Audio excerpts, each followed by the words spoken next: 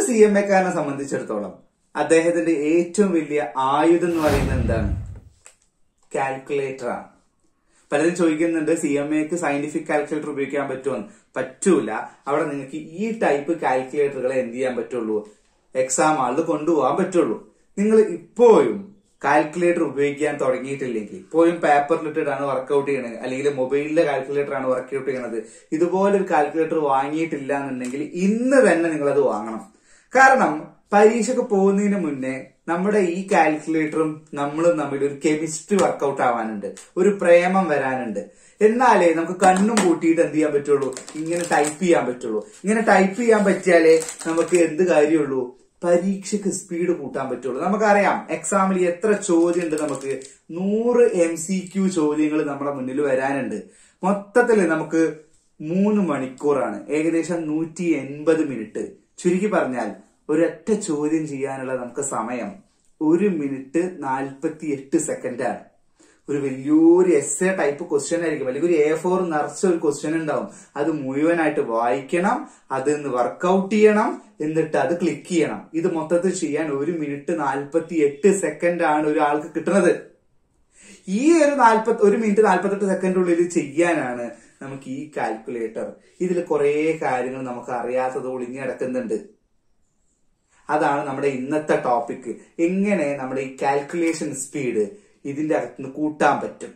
ഒരു സീക്രട്ട് ആയിട്ടുള്ള ഒരു മൂന്ന് സ്വിച്ചുകൾ നമുക്ക് ചിലപ്പോൾ നിങ്ങൾക്ക് അറിയുന്നുണ്ടാവും. ഇത് നിന്ന് പരിചയപ്പെടുത്താൻ പോവാണ്. M R C M minus M plus ഈ മൂന്നെണ്ണം നിങ്ങളുടെ കാൽക്കുലേഷൻ സ്പീഡും പരീക്ഷയ്ക്ക് വളരെ സഹായിക്കുന്നതാണ്. ഇത് നിങ്ങൾക്ക് അറിയില്ല എന്നുണ്ടെങ്കിൽ നിങ്ങൾ ഈ വീഡിയോ കാണണം. എന്നിട്ട് ഇത് പഠിക്കണം.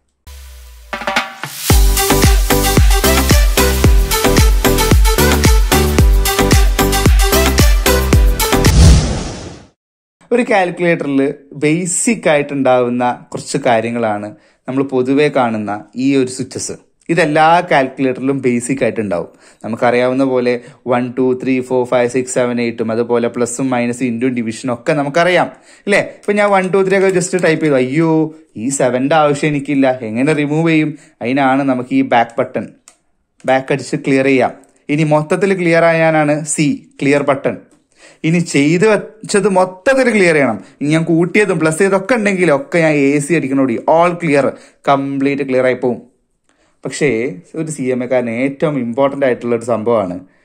M plus M minus M R C ഇപ്പോൾ നമുക്ക് മെമ്മറിയിലിട്ട് കൂട്ടണമെന്നുണ്ടെങ്കിൽ അതിൽ കൂട്ടാൻ വേണ്ടിയിട്ട് ഉപയോഗിക്കുന്ന സം ചെയ്യാൻ വേണ്ടി ഉപയോഗിക്കുന്ന സ്വിച്ചാണ് എം പ്ലസ് കുറയ്ക്കാൻ ഉപയോഗിക്കുന്ന ടൂളാണ് എം മൈനസ് കൂട്ടിയതും കുറച്ചതും മെമ്മറിയിൽ കാണാൻ വേണ്ടിയിട്ടുള്ള ടൂളാണ് എം ആർ സി ഇനി മെമ്മറിയിലുള്ളത് റിമൂവ് ചെയ്യാൻ ഉപയോഗിക്കുന്ന ടൂൾ തന്നെയാണ് എന്ത്?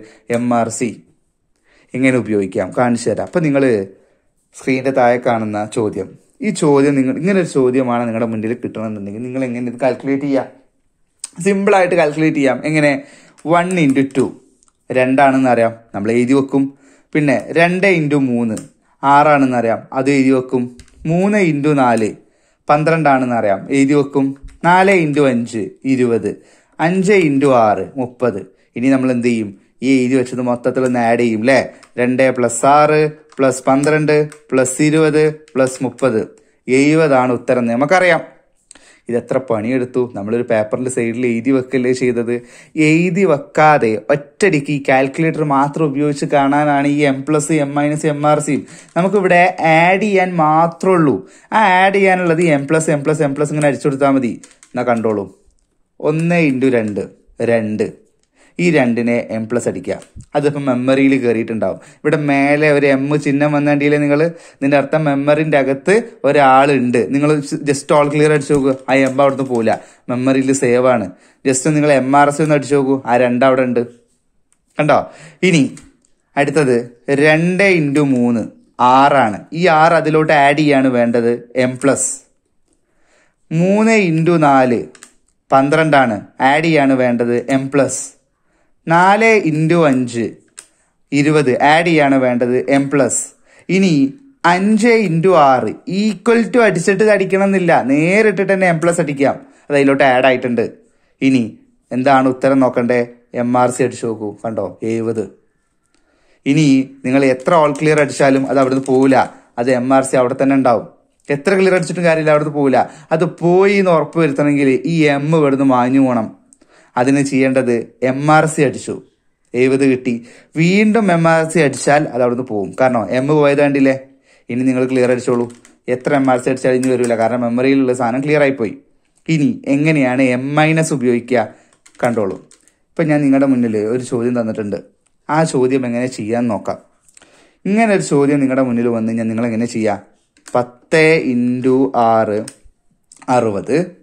അഞ്ച് ഇന്റു ആറ് മുപ്പത് മൂന്ന് ഇന്റു നാല് പന്ത്രണ്ട് രണ്ട് ഇന്റു മൂന്ന് ആറ് ആറ് ഇന്റു ആറ് മുപ്പത്താറ് രണ്ട് ഇന്റു ഏഴ് പതിനാല്. അപ്പോൾ ഇതിൽ കൂട്ടാനും കുറയ്ക്കാനും ഒക്കെ ഉണ്ട്. നമ്മൾ എന്ത് ചെയ്യും സിമ്പിളായിട്ട് അറുപതിൽ നിന്ന് മുപ്പത് കുറയ്ക്കുന്നു. അതിക്ക് പന്ത്രണ്ട് കൂട്ടുന്നു അതിൽ നിന്ന് ആറ് കുറയ്ക്കുന്നു അതിൽ നിന്ന് മുപ്പത്താറ് കുറയ്ക്കുന്നു അതിലോട്ട് പതിനാല് കൂട്ടുന്നു. ഉത്തരം എത്രയാണ്? പതിനാല്. ഇനി ഇതെങ്ങനെ പേപ്പർ ഇല്ലാതെ ചെയ്യാൻ പറ്റും? കാൽക്കുലേറ്റർ മാത്രം കൂട്ടാനുള്ളതാണ് എം പ്ലസ് കുറയ്ക്കാനുള്ളതാണ് എം മൈനസ് അപ്പോൾ ഒറ്റടിക്ക് പത്ത് ഇന്റു ആറ് അറുപത്. ഈ അറുപത് എന്ന് പറയുന്നത് ഇതിന്റെ അകത്ത് കൂട്ടാനുള്ളതാണ് പോസിറ്റീവ് വാല്യൂ ആണ്. എം പ്ലസ് അടിക്കുക. മെമ്മറിയിൽ കയറിയിട്ടുണ്ട് നോക്കിയേ മെമ്മറിയിൽ സാധനം കയറിയിട്ടുണ്ട് ഇനി അഞ്ച് ഇന്റു ആറ് അത് അതിന് കുറയ്ക്കാനാണ്. ഈ മുപ്പത് പറയുന്ന വാല്യൂ നമുക്ക് അതിന് കുറയ്ക്കാനാണ്. എം മൈനസ് അടിക്കുക. അതായത് കുറച്ചിട്ടുണ്ടാവും. ഇനി മൂന്ന് ഇന്റു നാല് അതേക്ക് കൂട്ടാനാണ്. പന്ത്രണ്ട് കൂട്ടി. ഇനി രണ്ട് ഇന്റു മൂന്ന് അതായത് കുറയ്ക്കാനാണ്. എം മൈനസ് കുറച്ചു. ആറ് ഇന്റു ആറ് ഇതും അതിൽ നിന്ന് കുറയ്ക്കാനാണ്. ഒന്നുകൂടിയും ആറ് ഇന്റു ആറ് മുപ്പത്താറ്. കുറയ്ക്കല്ല വേണ്ടത്? എം മൈനസ് ഇനി രണ്ട് ഇന്റു ഏഴ് അതൊക്കെ ആഡ് ചെയ്യാനാണ്. ഈക്വൽ ടു അടിച്ചിട്ട് പ്ലസ് അടിക്കണം നിർബന്ധമല്ല. നേരിട്ട് പ്ലസ് അടിക്കാം. അതൊക്കെ ആഡ് ചെയ്തു. ഇനി നമുക്ക് നിങ്ങൾ എത്ര പ്രാവശ്യം ഓൾ ക്ലിയർ അടിച്ചോളൂ? ഒരു കുഴപ്പമില്ല. കാരണം ഇവിടെ മെമ്മറിയിൽ സംഭവം സേവ്ഡാണ് എം ആർ സി അടിച്ചാൽ ഉത്തരം കിട്ടും. പതിനാല്. ഇപ്പം ഇതിന്റെ ഉപയോഗം മനസ്സിലായല്ലോ? കാരണം ഈ ഒരു M plus M minus M R C ഉണ്ടെങ്കിൽ നമുക്ക് ഈ പെന്നും പേപ്പറും പരമാവധി സി എം എക്കാർക്ക് എന്ത് ചെയ്യാം? ഉപയോഗം കുറയ്ക്കാൻ പറ്റും. ഓ കാൽക്കുലേറ്ററിന്റെ M R C M plus M മൈനസിന്റെ ഉപയോഗം എന്താണെന്ന് മനസ്സിലായല്ലോ?